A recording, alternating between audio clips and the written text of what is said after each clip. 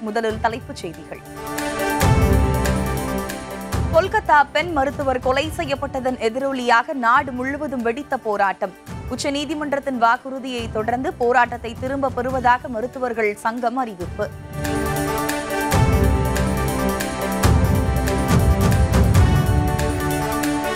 ஆராய்ச்சி படிப்புகளில் சேரும் மாணவ மாணவிகளுக்கு மாதம் இருபது ஐந்தாயிரம் ரூபாய் உதவித்தொகை வழங்கும் திட்டம்.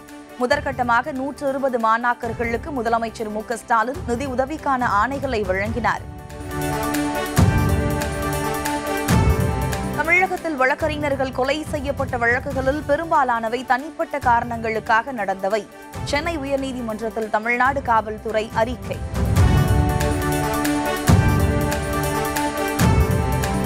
அரசால் அமைக்கப்படும் உயர்மட்ட குழு என்பது ஒரு விஷயத்தை நீர்த்து போக செய்வதாக தான் இருக்கிறது.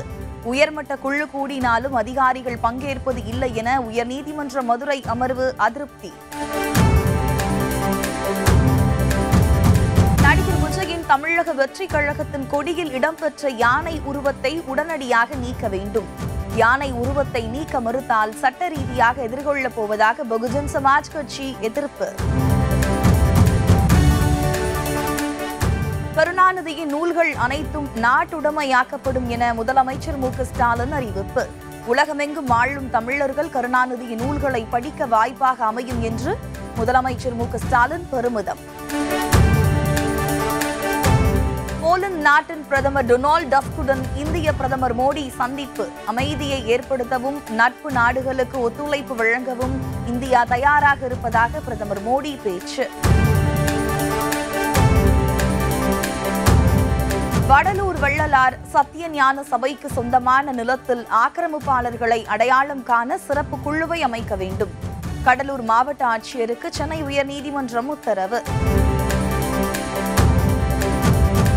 மக்களவைத் தேர்தலில் பிரதமர் மோடியின் உளவியலை உடைத்ததே இந்தியா கூட்டணிதான். ஜம்மு காஷ்மீருக்கான மாநில அந்தஸ்தையும் விரைவில் மீட்டெடுப்போம்.